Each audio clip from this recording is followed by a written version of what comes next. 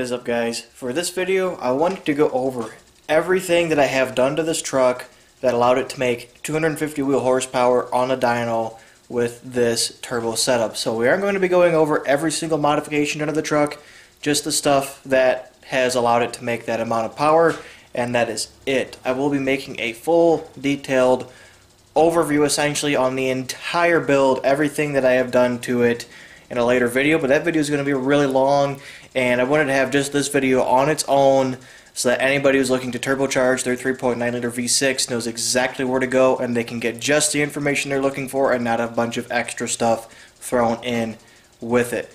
So, first thing we will talk about before we even talk about the turbo kit is the fuel management system that I am running.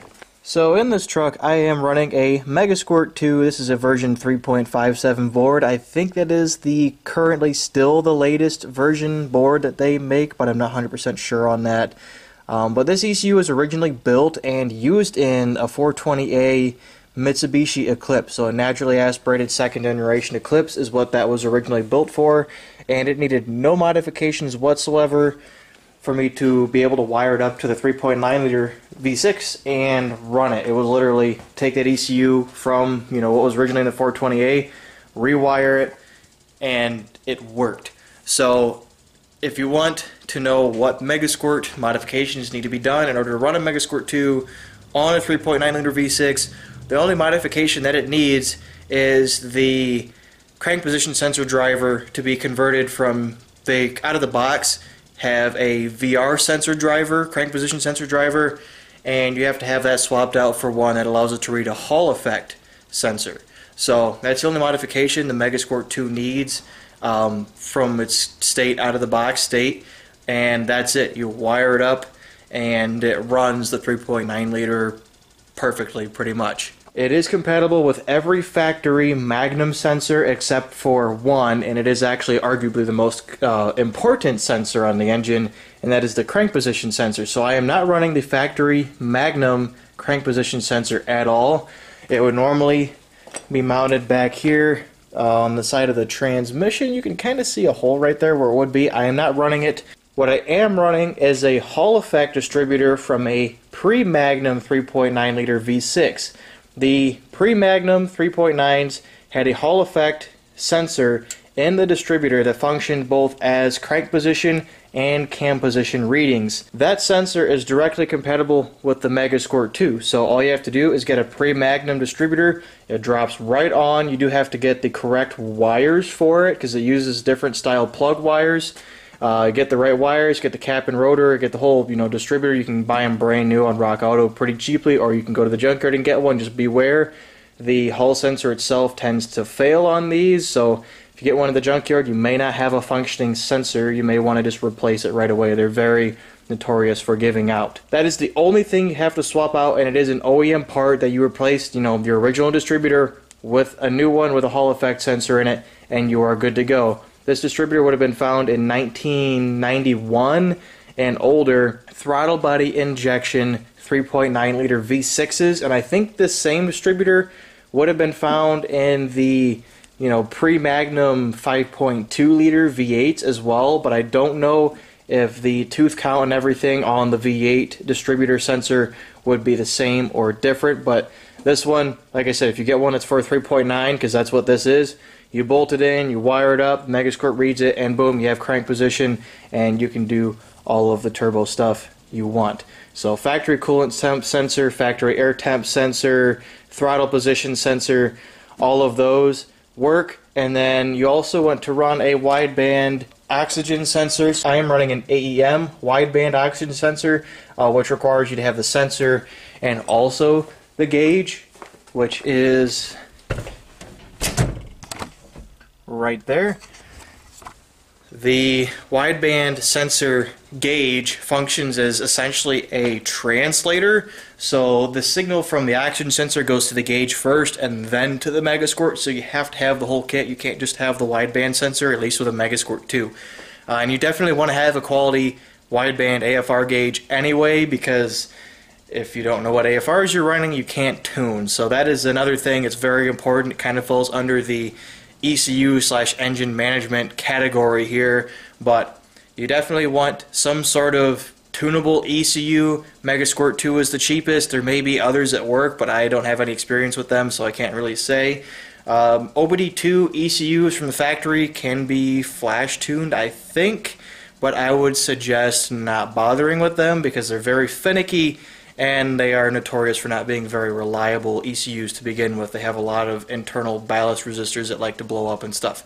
So if you want to turbocharge your 3.9, go ahead and get yourself a Megasquirt if you're on a budget, or if you want to look into something more expensive like a Holley or an AEM or something like that, you can. But the budget method, the proven budget method, is the Megasquirt 2. Megasquirt 3, of course, works as well, but that costs more money, and you don't really need it to make this kind of power on one of these engines. So the Megasquirt 2, of course, I had built by DIY Auto Tunes, so they took an out-of-the-box Megasquirt 2, essentially, modified it to run, you know, a 420A, but those modifications also allowed it to run on the 3.9, and shipped it out to me with a wiring harness, which I had to wire up to the 3.9 liter Magnum harness, and boom, there we go, I had engine management. You also have to buy a Tuner Studio license in order to be able to tune stuff, and then you also want to get a Megalog Viewer license as well, so you can actually read logs after you go and drive the thing.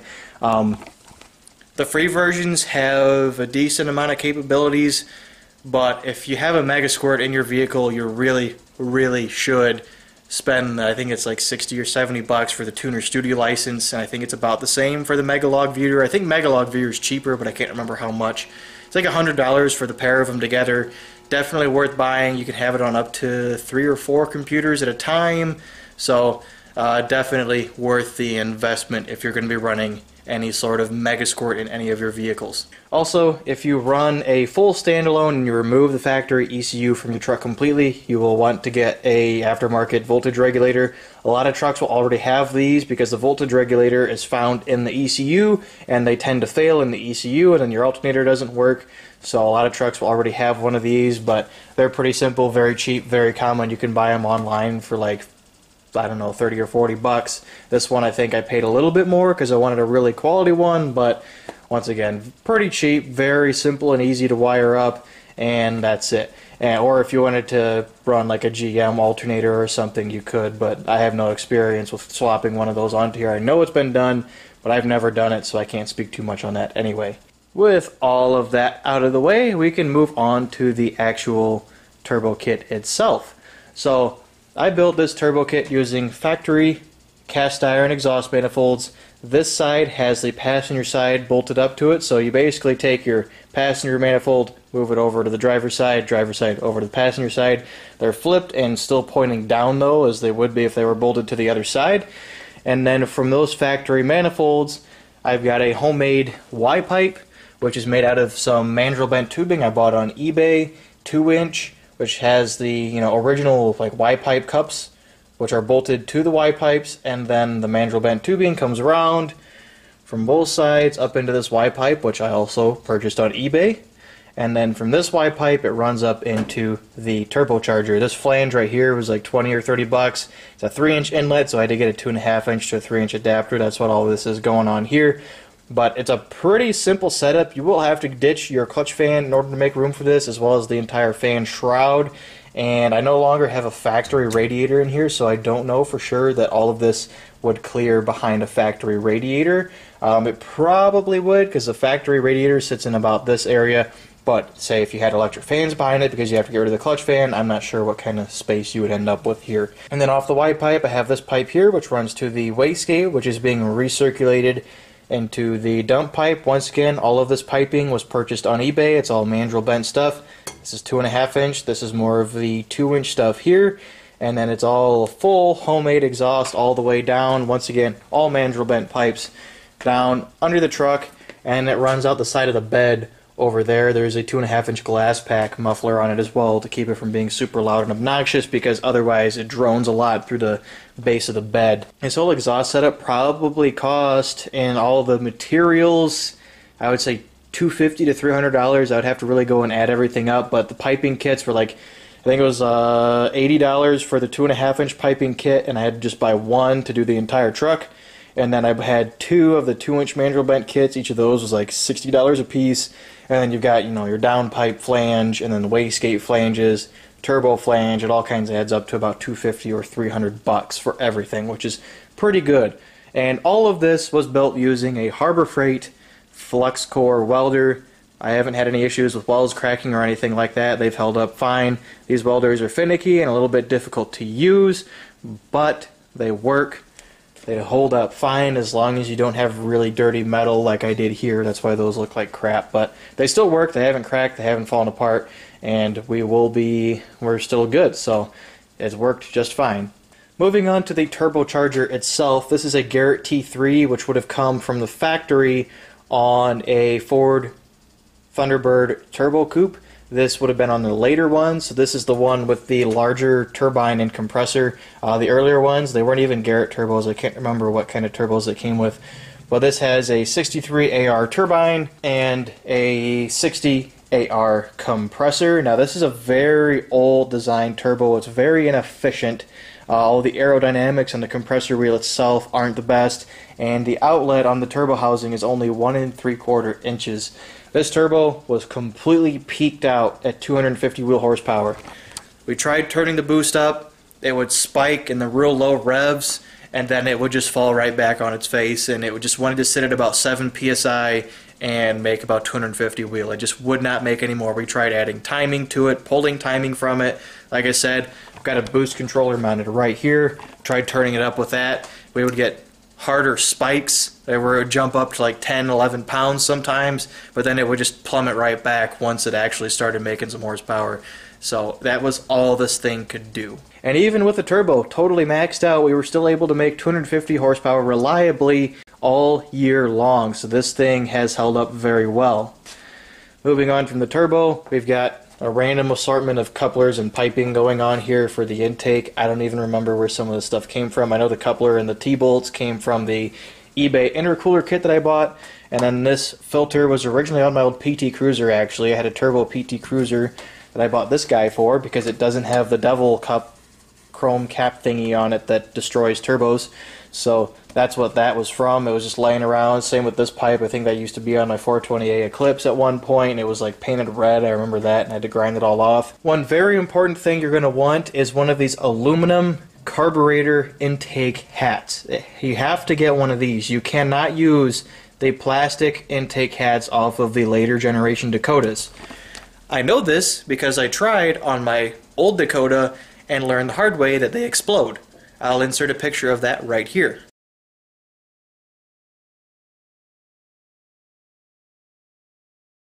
So you have to get one of these. They're very pricey for how simple of a part they are. They're like usually over a hundred bucks for one of these things, but you have to have one. There is no other option. Any plastic intake hat will explode. I've learned that the hard way. I inserted the picture so you guys can see proof of it. So I've got that, and then underneath of the throttle, underneath of it on the throttle body, I made my own bracketry to actually securely clamp this intake hat down because the stock bracketry is just made to hold a little, you know, round filter intake up here. It's not made to actually hold in pressurized air and it will flex and potentially bend under boost and leak a ton of air. So I'll insert a picture of my bracketry on the throttle body right here. All of that works out very well. I've had no issues with any sort of boost leaks or anything coming from this setup. This setup is going to remain on here for a while. Now continuing with the intake, Underneath of this intake manifold is what's known as a belly pan. These belly pans have a gasket that is notorious for leaking even on naturally aspirated engines as the gasket deteriorates and dries up, it eventually cracks and you end up with a giant vacuum leak coming from within the crankcase of the engine so you end up with that thing just running horribly and burning tons of oil. And if you already have a very old worn out gasket that's potentially already a little bit cracked, and you throw some boost at it, the thing's going to pretty much blow up. I mean, that gasket is not made for that. So, first thing you want to do is put in a fresh gasket and make sure that all of the bolts on the belly pan are torqued to spec. That would probably be enough to hold up under low boost scenarios because keep in mind this thing is also dealing with vacuum all the time and holds up fine with, you know, X amount of vacuum. So the pressure, as long as you're not getting too carried away, will be fine as long as your gasket is healthy and new. And like I said, all the bolts are torqued to spec, not over or under torqued, and you want to get a quality gasket for it. Now, one other extra thing that I did was I welded a brace in the at the shape of an X to the bottom of the belly pan. I've heard of these belly pans exploding. I don't know if people are just referring to the gasket or the pan itself, but I figured stiffening up the pan would help reduce its movement and flexing, which could help potentially extend the life of the gasket, so I'm less likely to blow the gasket, sealing it in the end also. So I'll insert a picture of the modifications to the belly pan as well right here. Moving on to the actual piping and the intercooler itself. Most of this intercooler piping I bought in a kit on eBay for about 120 bucks. This intercooler, all the black piping and all the blue couplers came with it. And then this silver coupler I had laying around from an old eBay turbo kit I bought a few years ago. And then there's an exhaust pipe right there because I didn't have anything short enough. And there's a couple of other random things. Had to make my own adapter to go off of the end of this turbocharger into the elbow here because this turbocharger has a 2 bolt flange on the end of the outlet on the compressor and I didn't have the correct you know fitting to bolt up to that. So I had to make my own out of ironically a 38 millimeter wastegate flange like that. I welded a pipe to it that goes from you know the one and three quarter inch outlet on the turbo to a two inch and then it's a two inch to two and a half inch coupler bolted to that adapter that I made and it has worked just fine. Inefficient because it's a tiny outlet on a tiny turbo, but it still works and I haven't had any issues with it leaking or doing anything like that. And then for a blow-off valve, I'm running the very typical eBay HKS ripoff. So this is uh, an HKS SQV generic version. It's not a real one, obviously.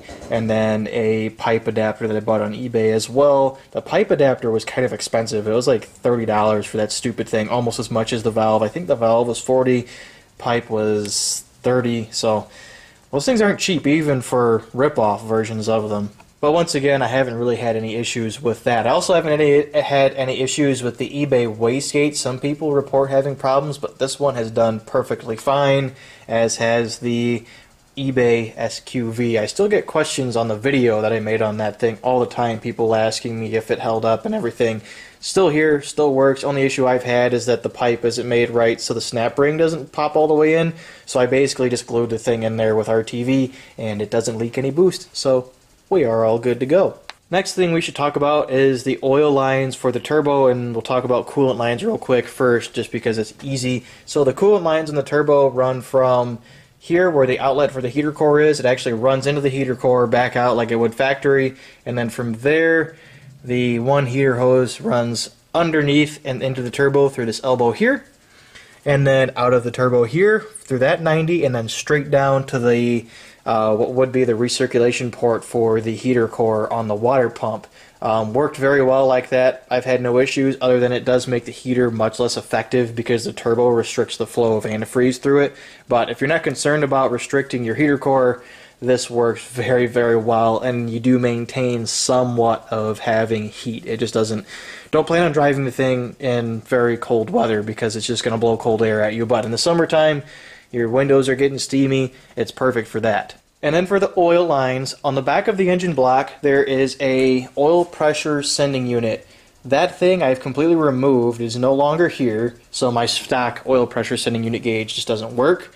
And then in its place, since it is a 1 8 inch NPT, I was able to just install a 1 8 inch NPT male to male fitting with a T on top of it, put those into the engine block, and then I have the oil feed line in one of the ports, and then I have a mechanical oil pressure gauge coming out of one of the other ones, and then the final port is just blocked off. So we are nearing the end of the video here. I've covered just about everything, so one final thing I want to talk about is the ignition coil.